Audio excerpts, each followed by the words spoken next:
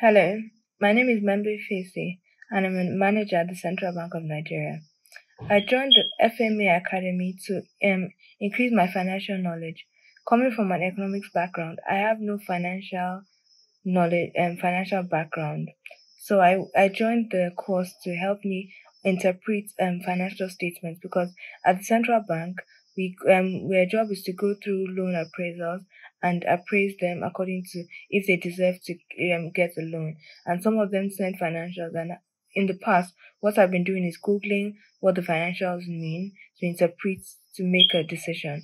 So I wanted to deepen my knowledge and have an understanding on how to interpret financial models and also develop a financial model myself. Um, the course has exceeded my expectations.